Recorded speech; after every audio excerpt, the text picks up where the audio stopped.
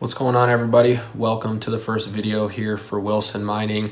We are going to be talking on this channel a lot about Bitcoin mining, Bitcoin immersion mining, and then showing you a lot of the behind the scenes stuff of our hosting facility in north central Iowa.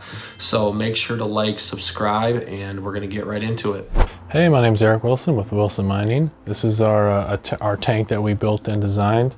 It uses a 1.5 inch female NPT fittings and we're just gonna go over, you know, us building it. We're like, I'm actually gonna weld it together myself. That's the process and that, you know, the customer receives a, you know, a completed unit.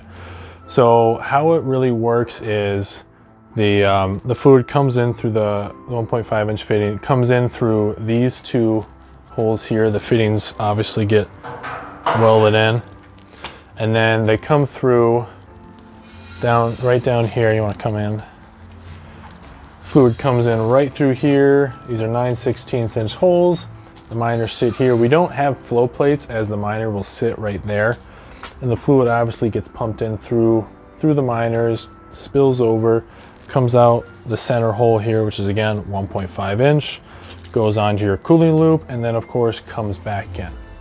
So what we're gonna do is, you know, that was the introductory of what it looks like, is we're actually gonna um, film me assembling it, welding it myself and then we'll show you the final product and what, what it's actually going to look like.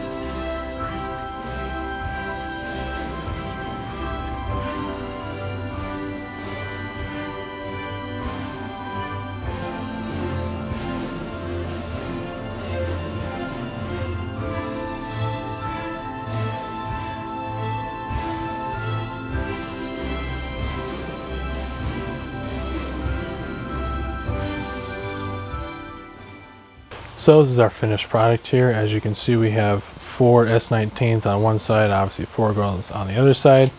They're very tight in here. Uh, we will sell we will sell handles, so you can obviously easy easily take them in and out. But because they're so tight, the fluid obviously cannot go around the outside. It can only come up through the hash boards, obviously spills over, and then comes out, goes through the cooling loop, comes back in, goes through the hash boards. But this is our our little baby here. Took a lot of work to make this, but I'm very proud of it.